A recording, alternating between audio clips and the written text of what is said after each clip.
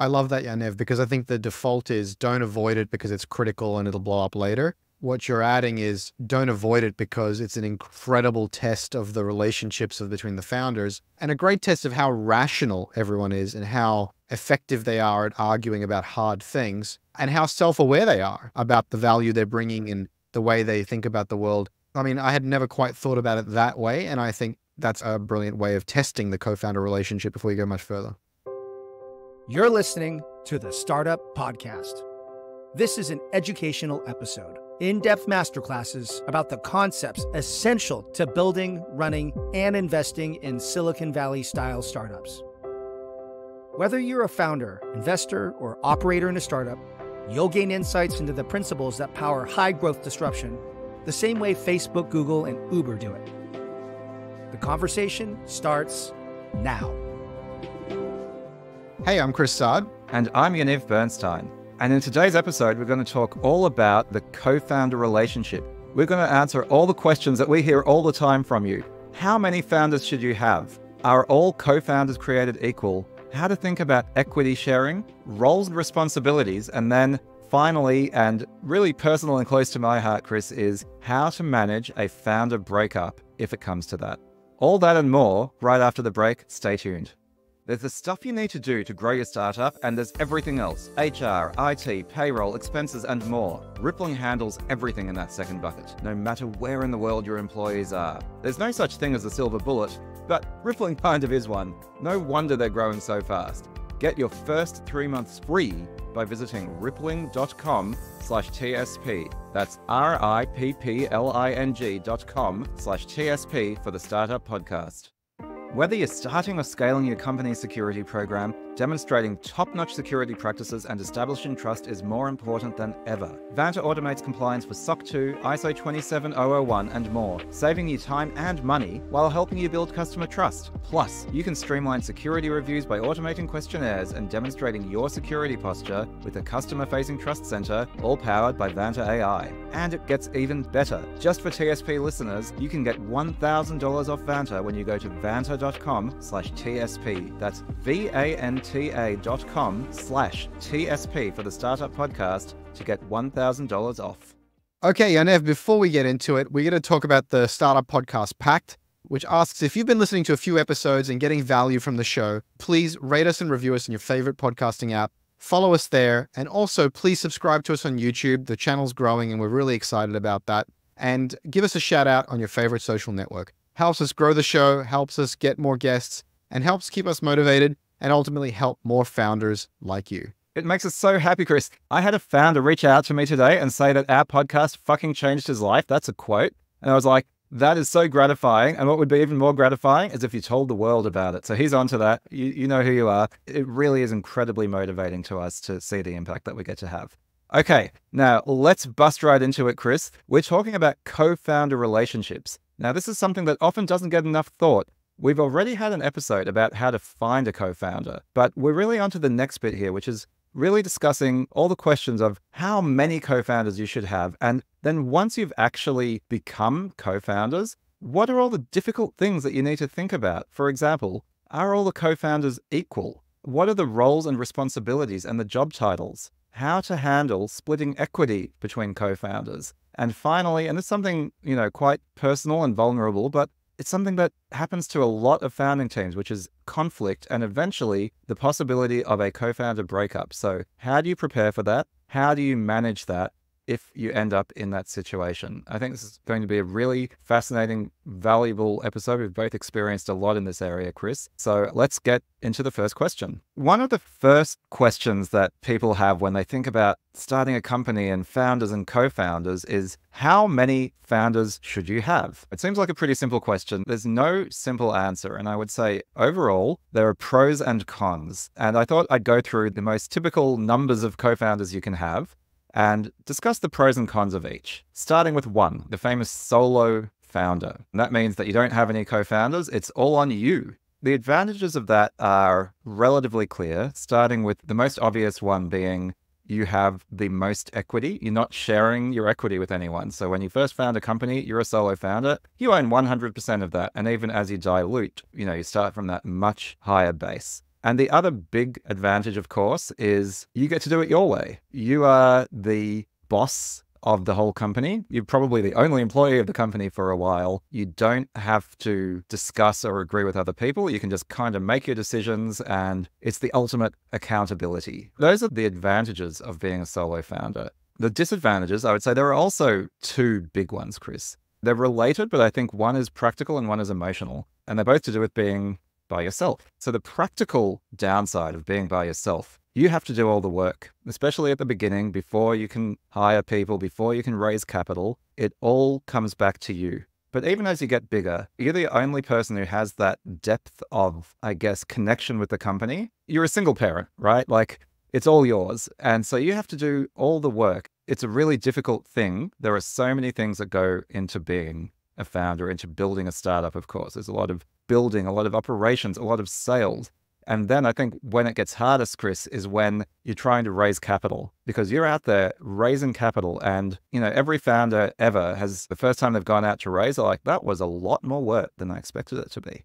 But if you're a solo founder, you still need to keep the lights on. You need to keep the business running. You need to keep building it at the same time as you're raising. And there's no one there to help you. And that, that is really difficult. The other downside, of course, is that it's lonely. Like being a founder is hard. It's hard in ways that are difficult to understand if you haven't done it before but it's somewhat of a singular experience. And the advantage of having co founders is you have people to share that with. And that can create a lot of comfort, a lot of solace when things get difficult, which they always do. There is a sharing of a burden that is really comforting. We're humans, we're social creatures. There's that old saying, misery loves company. And so, you know, when, when things get miserable, you have that company, have those co founders. But if you're by yourself, that's it. And you know, you can talk to your friends, you can talk to your spouse, but they're not in it the same way you are. So it can be very lonely and it can be taxing on people's mental health. Firstly, you mentioned this is like being a single parent. And I think that is a really, really apt metaphor.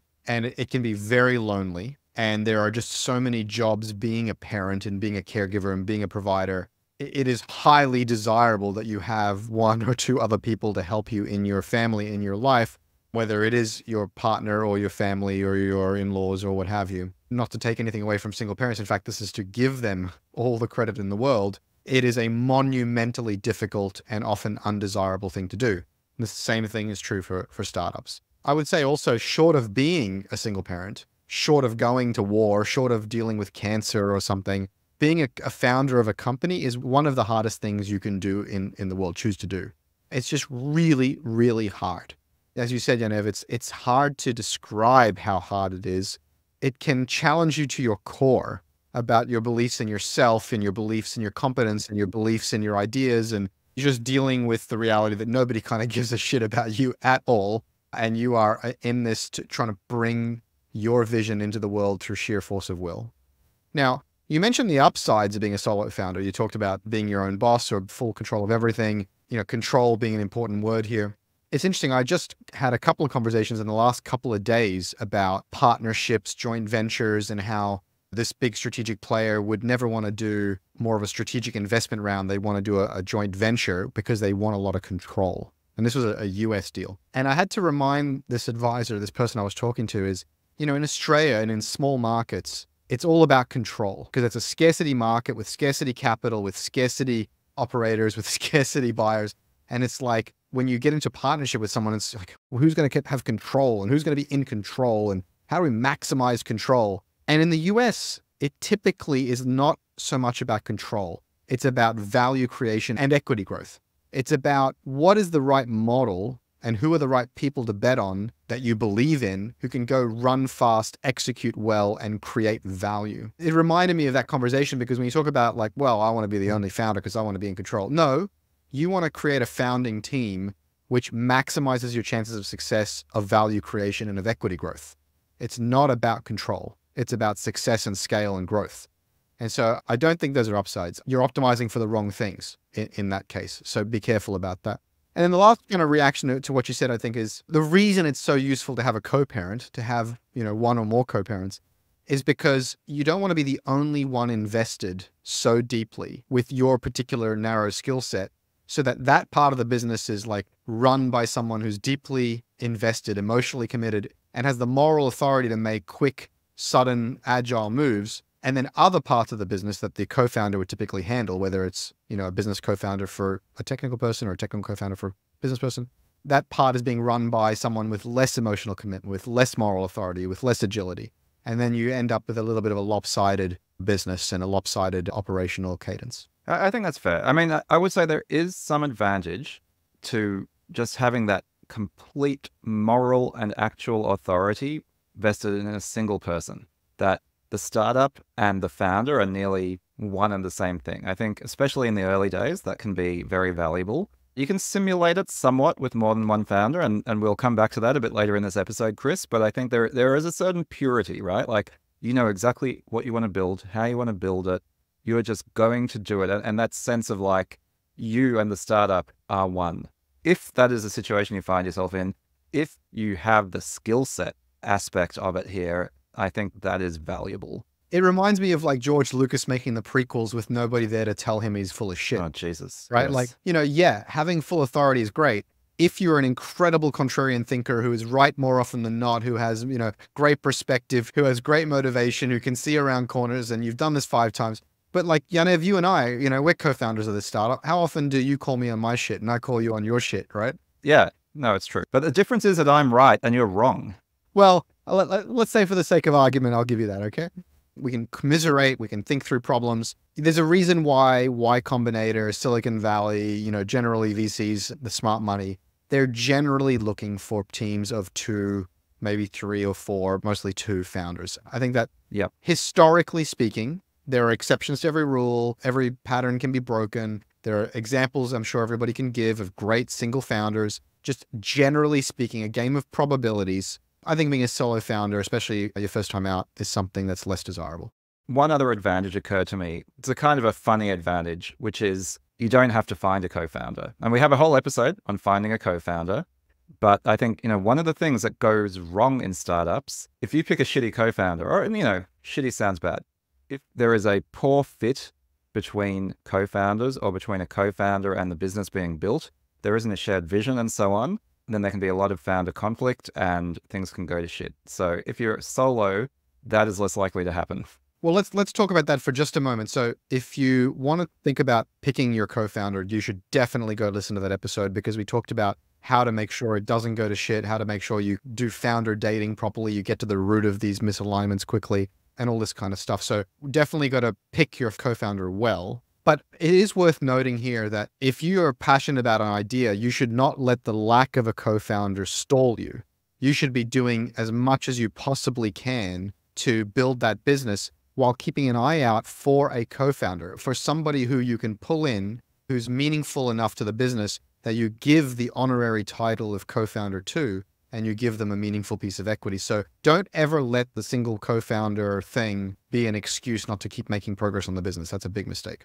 Like you said, Chris, I think two co founders, perhaps a bit like two parents or, or two people in a couple, that is the default normie way of doing things. And, you know, I think the advantages we've already started covering, which is that you have that sharing of the load. And again, very much like parenting, right? You can specialize to a certain degree. You can do things together, but also you can balance each other out. One person can call the other one on their shit. If one person is unwell or down, the other person can step in and help them, right? Like, you know, in, in my personal life, my wife and I have always had this saying, one up, one down, right? So the, the idea is if one person in their life is struggling for whatever reason, having a difficult time, it's natural for the other person to be energized by that, to step in and say, I am here to help you. If someone's sick, the other person steps up. If someone's had a difficult situation in their life, the other person steps up. And I think, you know, having that redundancy and that support network two people provides is just so, so valuable, as you say, Chris.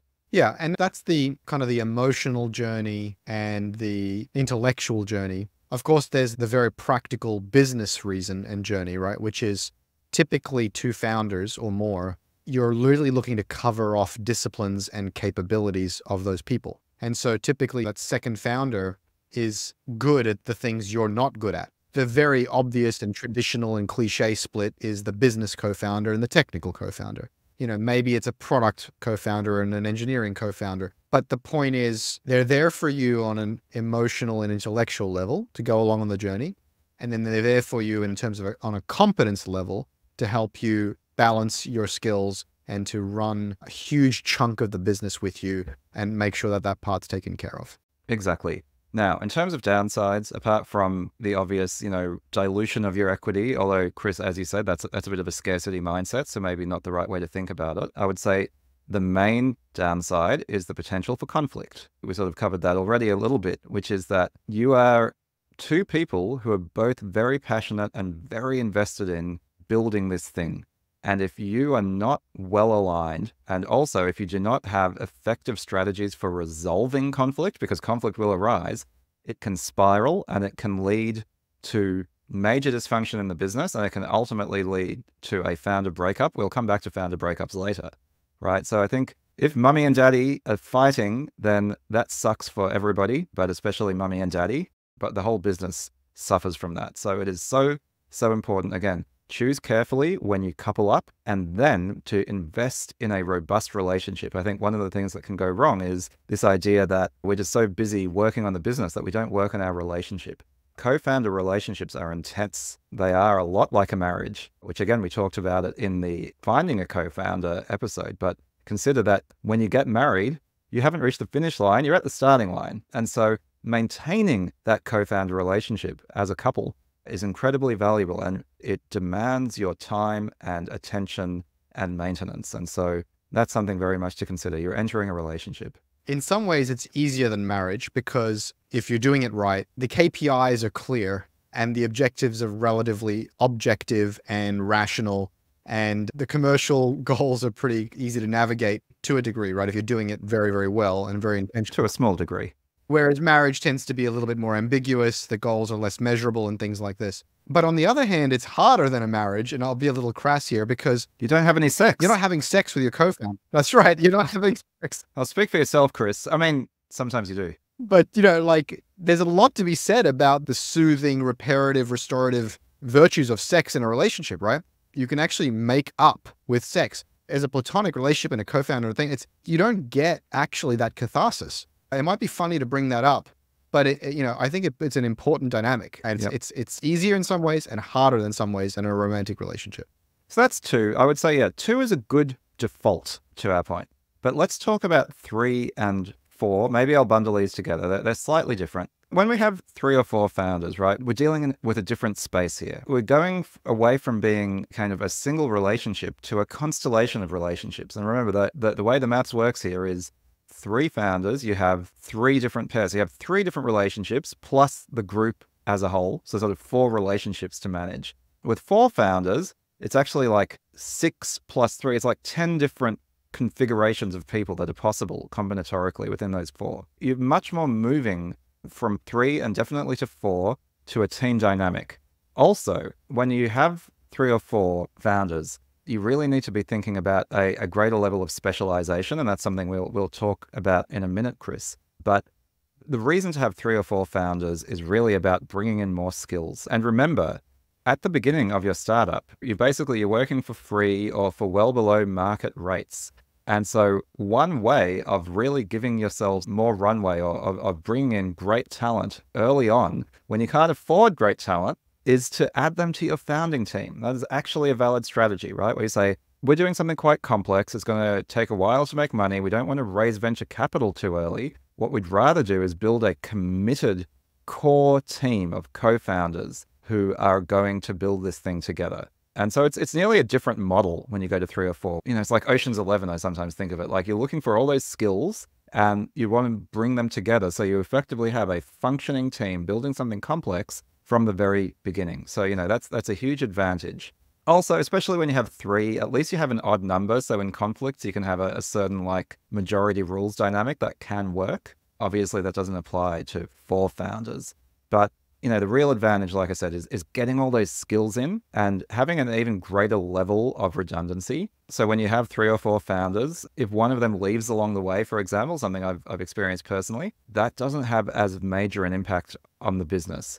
On the other hand, I think you're starting just a little bit to dilute what it means to be a founder, right? Like, of course, these co founders are still very, very deeply invested in the business. But when you, you go from being, you know, just that solo founder or that couple who are sort of doing everything together and in lockstep to becoming more of this group and team dynamic, you lose just that little bit of like direct connection between each individual founder and the business. And I think that's something that doesn't get discussed very often, but I've definitely experienced directly. I've definitely seen in other businesses as well. When you're talking about three founders, what you're ideally talking about, again, in terms of competency coverage, the coverage of each of your skills, is really a business co founder, a technical co founder, and a product co founder typically. Obviously, there are other combinations, other ways that can go, but that feels like the right triad. What I mean by that really is the business person is really all about sales, storytelling, fundraising, being the man on the street, the woman on the street, building the business. The technical person is building the code,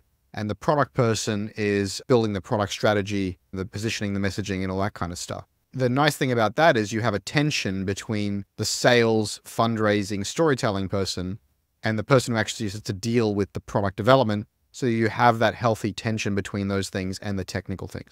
To me, that's the that's the ideal combination of three. I think that about makes sense. And then, you know, there's, there's sort of often operations and so on. And one reason to have four co founders is because there is a greater spread of skills required in the particular type of business that you're building. Maybe the reason to have four is you're doing, you know, business, sales, CEO, growth type, technical, product. And then if your business is very, very operationally heavy, you might have an operational co founder. So that maybe justifies the four.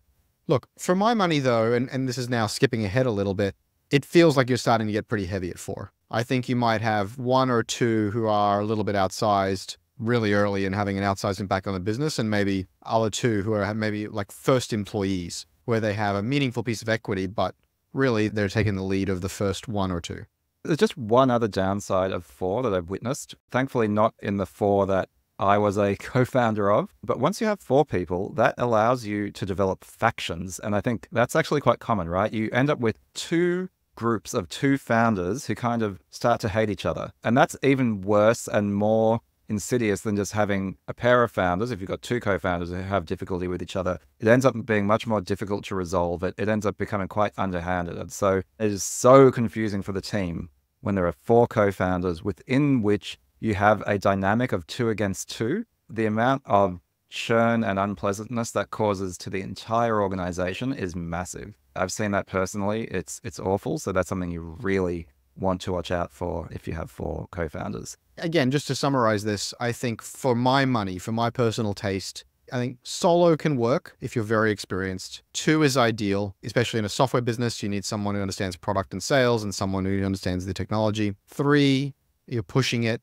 Maybe, maybe, maybe, especially if the CEO, business guy doesn't know anything about product and you need somebody to help with that. And then to me, four is getting really heavy, and you really need to start thinking about this as one or two co-founders and employee number one and two, and that the relationship and the power dynamic needs to be very clear there. I think that's accurate, and it's a good segue to that next question, which is: Are all co-founders equal? Now, I've put equal in quotes, but I think it's an interesting one. It's often this assumption that you know you've got a founding team, we're all in this together, we're all equal, we're all the founders.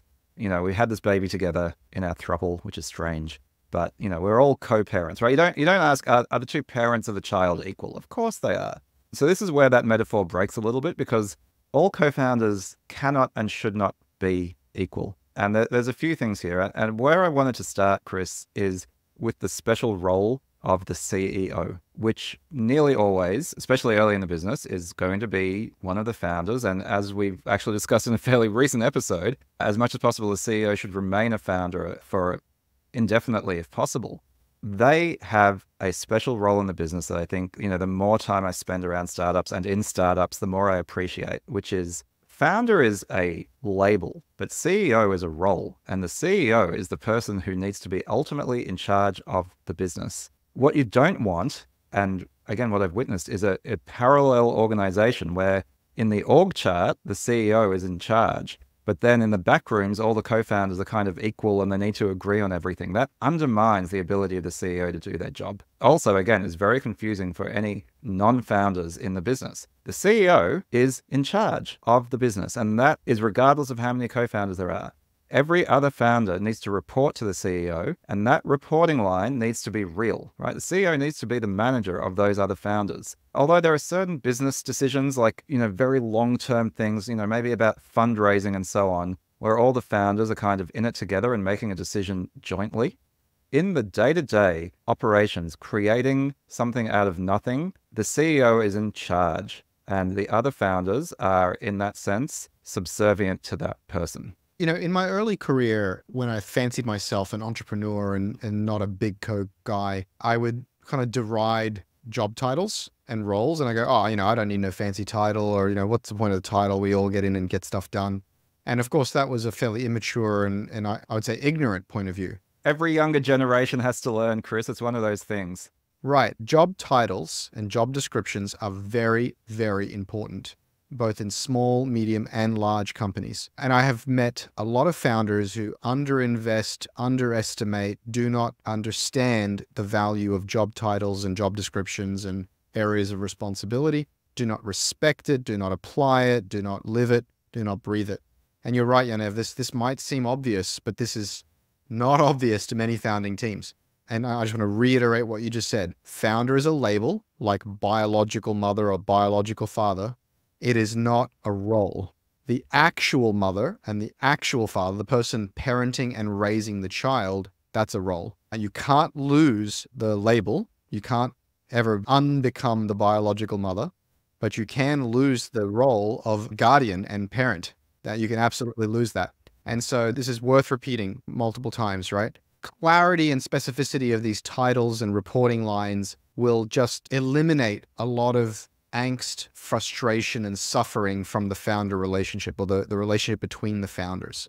The way this just very pragmatically could play out is like consulting a board. You check in with the board on big issues, you check in with the founding team on big issues, and you debate and you discuss and you argue vigorously, but the CEO makes the call. The rest of the team disagrees and commits. And I would say that's really how a board, a well-functioning executive team and board should be as well, is the board provides governance and oversight and what have you. But when it comes to operational details, you trust the man in the seat or the woman in the seat, the CEO, and you get their back unless you think that they're way off course and, and need to be kind of course corrected. Exactly that. So, you know, that's something I've come to appreciate more and more. Again, I think every generation has to go through their their sort of collectivist tendency and say, you know, we're all in this together and then realize that reporting lines and power and authority are real and need to be structured well in order to make progress as a collective. That's really, really important. Complete aside, we're probably going to cut this out. I'm so fascinated by that like as young people, you know, this egalitarian, collectivist, socialist ideal gets beaten out of us as we actually have to deal with people in the real world. And like, there's lots and lots of things that Jordan Peterson says that are anything from insensitive to disgusting. But he actually blew my mind when he described the idea that as soon as you just declare something to be good, competence hierarchy immediately emerges of people who are at various levels of effective at achieving that good. And competence hierarchies are impossible to avoid. And the only thing you can try to do is minimize their tendency towards tyranny and redistribute wealth or redistribute rewards from the bottom of the hierarchy to the top so that uh, the people at the bottom don't get trampled on. And I was like, oh, fuck, you're right. Because I was like still in my, just at the, at the end of my egalitarian peer to peer ignorance. And I was like, oh man, he's yep. right. Noblesse oblige, right? You know, that the, powerful have a moral obligation to the less powerful, but that obligation does not extend to giving up their power. It's it's interesting. Over 7,000 global companies like Atlassian, Dovetail, Flo Health, and Quora all use Vanta to manage risk and prove security in real time. Why aren't you? Get $1,000 off Vanta when you go to vanta.com slash TSP. That's V-A-N-T-A dot com slash TSP for the Startup Podcast to get $1,000 off. You know what founders hate? All that back office busy work that goes into operating a company. I'm talking about HR, onboarding, offboarding, payroll, EOR, LMS, IT. The list seems endless. And for each of these things, you have a separate vendor, a separate invoice, a bunch of integration headaches. No more. Rippling is doing something miraculous, building a single all in one workforce platform for your global workforce. A single vendor, fully integrated for all your HR and IT needs so you can focus on what matters, building your startup. They even have a special offer for TSP listeners. Get three months absolutely free if you go to rippling.com slash TSP. That's R-I-P-P-L-I-N-G dot com slash TSP for the Startup Podcast. There are actually two problematic or, or unique aspects of co-founder relationships and roles that I wanted to dig into. And the first of these is co CEOs, where you say, okay, you know what? There's two of us and we're both awesome and we've got that 50 50 equal split and we both have opinions on things. And so we're going to run the company together as co CEOs. That is usually, not always, but usually a bad idea. So I would say the rule is do not have co CEOs. You need to have one CEO who is ultimately accountable and in charge. And the other person who wanted to be co CEO has a clearly defined role as not that person. Not the CEO. Now, there is an exception, and I would say it's a relatively rare exception to that rule. And when that exception exists, it can be absolutely beautiful. And that's what I call the hive mind. When you have co CEOs, the way I see it is there is no divide and conquer. You can't say, I'm the co CEO responsible for X and the other one's a co CEO responsible for Y. No. Co CEOs work when you are so attuned with each other. You have the same values, the same decision making heuristics, the same understanding of the business strategy, the same understanding of the business metrics that talking to one of the CEOs is like talking to both or like talking to the other. They each have the full decision making authority and so on. And that works okay because the other CEO would have said the exact same thing. So you are so in tune with each other. You want to have the two bodies, right? Your one brain, you just have a like clones of yourselves walking around. That can be incredibly powerful. Some of the best companies have co CEOs, but that to me is the only way it can work because as soon as there is any daylight between the two CEOs, that will lead to confusion, ultimately conflict between those two people. And conflict between co CEOs is not something you want to have in your business. Firstly, I would love to meet someone like that mm. who like is so simpatico with me. Like, and no one's simpatico with you, man. You're a fucking psycho. I'm I'm just a weirdo. Nobody nobody keep that in the edit, Justin. But we're talking about normal people. That feels like a you know a unicorn situation. I've seen so many co CEOs when I since I've come back to Australia. It, it was like it's just bizarre. Stop doing it. Have more creativity and specificity in your job titles than that. So let me riff on that because that was actually going to bring me to my next point, which is the COO. And this is one that I've got personal experience with, but also spoken to a lot of other COOs. So I think often what happens is you have two people who are like, I want to be generally across all the things that are in the business. I call this person a generalist founder or a general manager, right? They're not responsible for a specific function in the business. They're like, they're across all the things. And sometimes you're like, okay, obviously co CEOs is a bad idea. So one person's going to be CEO and they're going to be more like responsible for the big picture and the fundraising and the whatever, being the front guy or gal. And then you've got the COO who's more like running the team and the everyday and so on. That's been me in the past. Now, a lot of the time, that is just, again, avoiding a difficult conversation. And what you have is still two people who kind of want to be running the show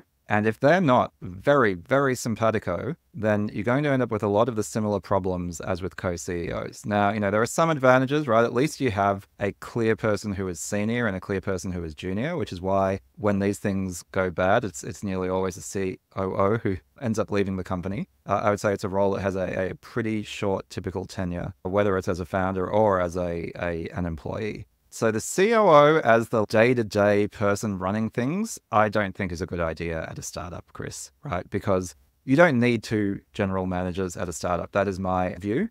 Unless you have that amazing hive mind, the friction that it causes outweighs any additional productivity that you get from it. So, what you should have on your founding team is one CEO, one general manager who's across the entire company, and every other role should have a clearly defined functional aspect right? So you have non overlapping roles there because it's not a stable role because you are the junior member of a partnership that probably shouldn't exist. And so ultimately the partnership dissolves and the COO leaves.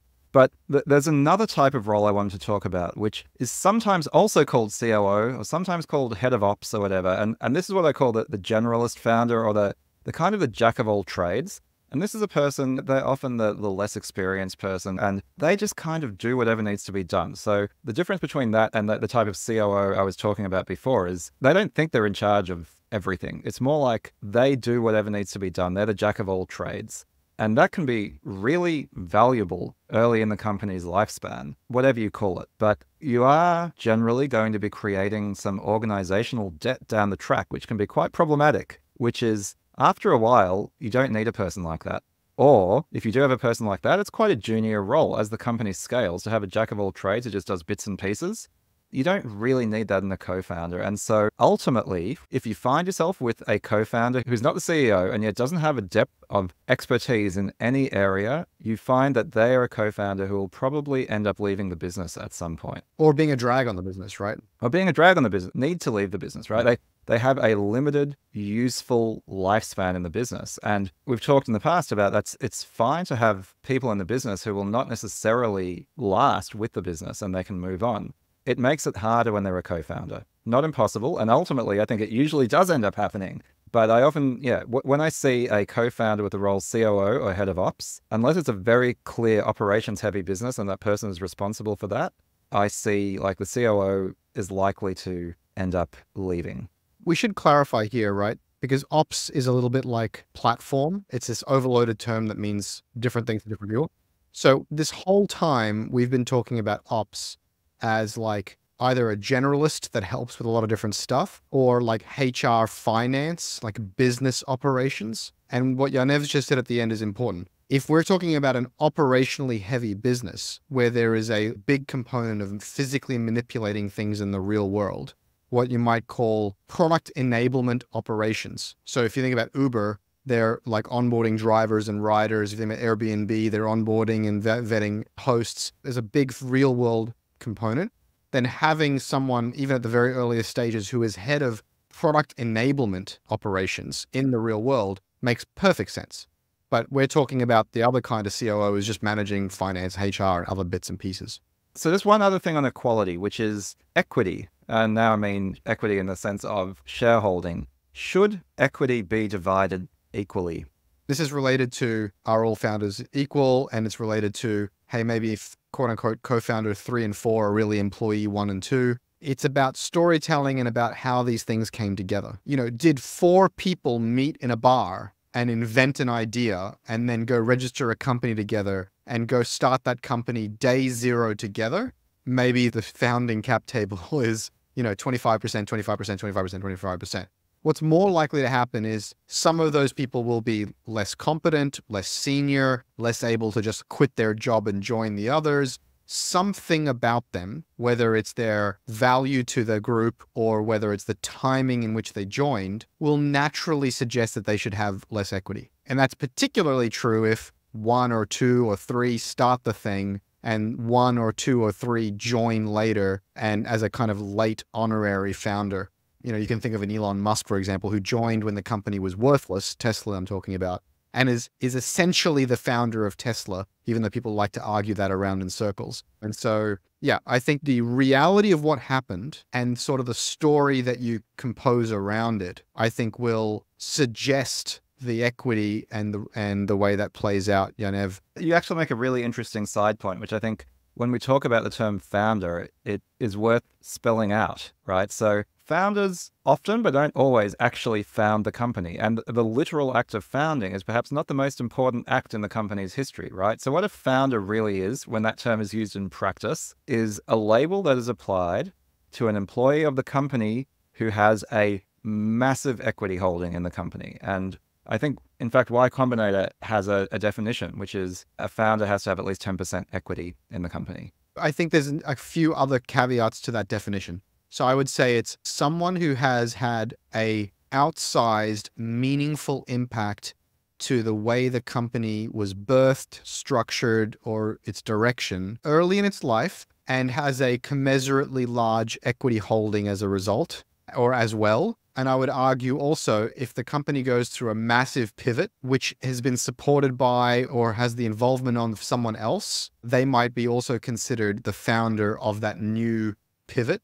If an employee has received an equity grant or has equity that is in excess of 10% without being absolutely fundamentally critical to that company's origins and success, then what the fuck are you doing? Right? Like that's that's a huge amount of equity. You've screwed up, right? I guess one thing I would I would say going back to like should it be equal? Like yeah, maybe this mirrors reporting lines and so on. Is I think the longer I do this, the less I feel it should be equal in all cases. You know, I think if you've got especially two founders with roughly equal backgrounds, levels of experience, again like like you and I, Chris, and we're like we're starting something together, then 50-50 it makes sense. But if you've got a larger team, if you've got three or four, I think it becomes less and less likely that you should have an equal equity split.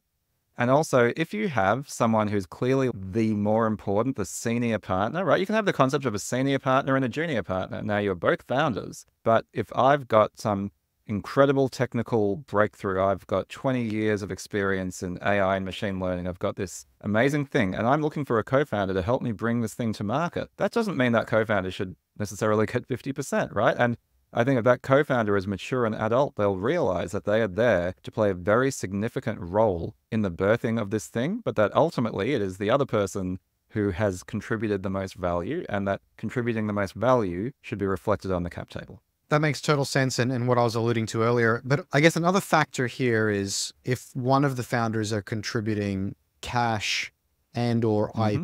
IP or some other resource. And I find the easiest way to think about this is simply to say, what would we do? What would we grant to each other as founders? Now, the next part of the story, the next chapter is one or two of us invest in the company as like sort of angel investors. And that investment comes with either a note where the valuation will be determined later or a valuation right there. And then they get a commensurate amount of additional equity for that investment. That's the, the way I tend to solve for that problem. Having a conversation about equity splits that are not equal is quite awkward and uncomfortable. And in that sense, it's actually a great early test of your ability to have awkward and uncomfortable conversations as a co founding group, which is an absolutely critical skill. So don't avoid it. If you, for example, think that you should have more than an equal split of equity, having that conversation with your co founders and explaining your reasoning and getting them ultimately to agree, getting to an accord where everyone is satisfied, that is actually a really powerful validation of your relationship. So I say lean the hell into that rather than say, ah, it's too hard. I don't want to rock the boat, so I'll just accept an equal equity split. I love that, Yaniv, because I think the default is don't avoid it because it's critical and it'll blow up later. What you're adding is don't avoid it because it's an incredible test of the relationships of between the founders and a great test of how rational everyone is and how effective they are at arguing about hard things and how self-aware they are about the value they're bringing and the way they think about the world. I mean, I had never quite thought about it that way, and I think that's a brilliant way of testing the co-founder relationship before you go much further. And just one other thing on equity make sure that founder shares vest. There are different ways of structuring this. It's actually often structured as a clawback rather than as a traditional ESOP. The bigger mistakes that one can make, that's a mistake you and I made, Chris, but it's okay because we still love each other, is to just grant equity outright. Because imagine what happens. You have got a 50 50 split, and then one co founder, you know, you have a conflict, a co founder leaves after six months, and they walk away with their 50%. Well, congratulations, your cap table is fucked. You're going to be very resentful and bitter, and nobody will invest in your company because half your company belongs to somebody who is not contributing anything to it. You've basically taken half the pie and just like thrown it in the bin. So do not allow that to happen. Founders should actually vest their equity. The assumption is they're there for the long haul, so it shouldn't make a big difference. But when you have a founder breakup or a founder leaving, which is more common than you think, you will be so glad that you have that equity vesting for founders. So that's maybe a little bit more of a tactical thing, but do not overlook this. I guess a side note on this if you are finding yourself in a situation where you are splitting up with a co founder or two and it's really acrimonious, for those people leaving and taking their massive equity with them, you're basically just shooting yourself in the face because you're cratering the company's ability to raise money and to, to move forward. And you're just zeroing out the value of your equity. No matter how pissed off you are at your co founders, just for pure selfish economic reasons, I would come to an accord with them about having a minority stake. So the value of that minority stake is potentially worth something later. Even if you hate them, uh, they're going to continue to operate the business and maybe make you some money. Just think a bit rationally about the long term plan here. So, final thing I want to get to, Chris, I know this is becoming a bit of a long episode, but I did want to talk about founder breakups because, like divorce, it is much more common than you think, right? So, Is this whole episode, going to have like a, an excuse for us to have a conversation? Is that what's going on? yeah, yeah, Chris, I love you, but I can't live with you anymore, man. It's not you, it's me. It's not me, it's you. Okay, so when it comes to founder breakups, like I said, they're, they're much more common than you think.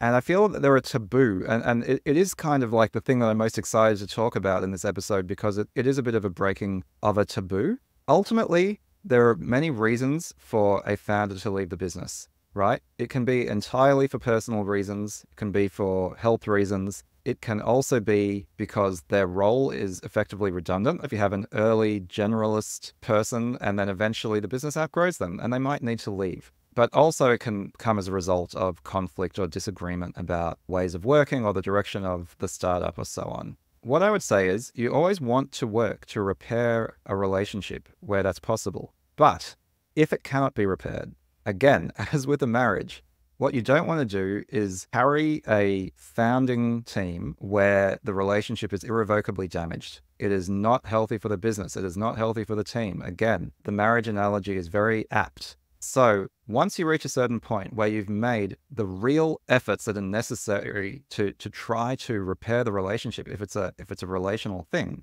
then it is time for one or other of the founders to leave the business. And it is a big deal, but it doesn't have to be the end of the world. And you know, this is this is sort of the secret of startups. If you actually look into, you know, a large number of startups, very significant portion of them have lost a founder along the way right?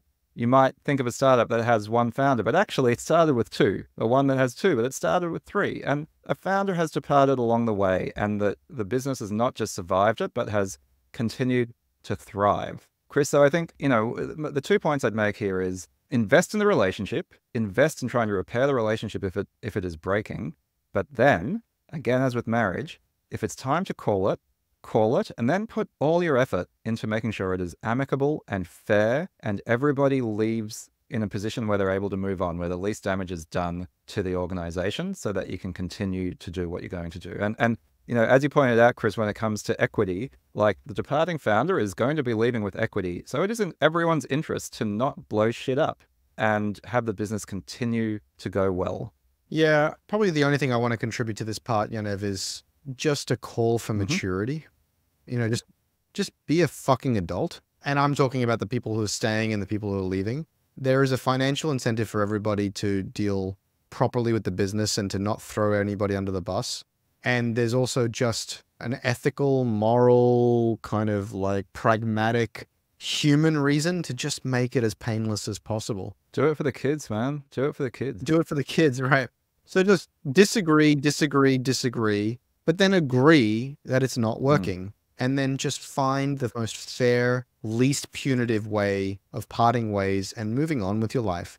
And I just, I've seen even recently boards and founders just trying to hurt each other, trying to strip each other of the founder title, trying to send signals to shareholders that are negative or, or punitive. Just cut that shit out. Just be an adult. Grow up. So maybe uh, I completely agree, and and you know maybe the final place to finish is you know those of you who are regular listeners will probably be aware that I left my startup Circular, where I was chief operating officer, about six months ago. You know I haven't spoken about it a lot out of respect for my former team and, and the company, which is an ongoing concern. And the interesting thing is, like, I still have a huge amount of love and respect for the team there. We did it that way. We did it amicably. We did it in a, a mature and responsible way. And I remember I was very afraid when we were going to go to our lead investor and, and tell them about this. And there were two interesting things. One is they were they were surprised that we were breaking up, as it were, but they were not surprised in the macro, right? Because I think they come across this all the time. Like an experienced VC will see founder breakups all the time. So this is not like an unusual situation for them. And ultimately, speaking to our, our principal at, at the lead investor, is like, thank you for being such an adult about it. That was the feedback I got. It's like, we're sad to see you go, but you know, you're not burning the place down on the way out. It's been done respectfully. It's been done with thought about how to manage the transition for the team. And, you know, once the decision was made that you didn't want to stay at the company, this is a best case outcome. And so, you know, while of course there was plenty of emotion and, and it wasn't an easy decision, the world didn't end either for me or for Circular, right? And for the team there that is still doing a fantastic job and the company's going from strength to strength. And again, as a shareholder and as a decent human being who had these relationships with people I cared about, I'm thrilled about that. And that's how it should be. Yeah, and, and if you need any additional incentive to be an adult and to be amicable about it, the community is very small. You know, I now have information about people who have been punitive, who've been rude, have been greedy. You can bet your butt that I'm going to share that with anyone who needs to know that I encounter. because I need to protect others from them. It is a very small community. Your reputation is everything. And so this is just, it just really, it really matters to be a good human being. Beautiful place to finish, Chris. All right, Yaniv, that was a great one as always. Bang an episode, Chris. A lot of fun. Now, if folks want to find you on the internet, or indeed want to work with you, which I know is something that you you do and you do incredibly well, how do they find you? Uh, yeah, that's right. Yaniv, you can learn more about working with me over at chrissaad.com slash advisory, and you can reach out to me from there. Or in the meantime, you can subscribe to my newsletter over at chrissaad.com slash newsletter. How about you, Yaniv? So you can find me mostly on LinkedIn. I'm the only Yaniv Bernstein out there, so easy to find. Or I'm on Twitter, now known as X. I'm at Y Bernstein. And if you want to pay me money so I can listen to you talk about how hard it is to be COO, I'm happy to do that too. All right, mate. Catch you in the next one. All right. Have a good one. Bye. Today's episode of the Startup Podcast was brought to you by Vanta. Vanta automates compliance for SOC 2, ISO 27001, and more, saving you time and money while helping you build customer trust. Plus, you can streamline security reviews by automating questionnaires and demonstrating your security posture with a customer facing trust center, all powered by Vanta AI. Over 7,000 global companies already use Vanta. Why don't you? Get $1,000 off Vanta when you go to vanta.com slash TSP. That's V-A-N-T-A dot com slash TSP for the Startup Podcast to get $1,000 off.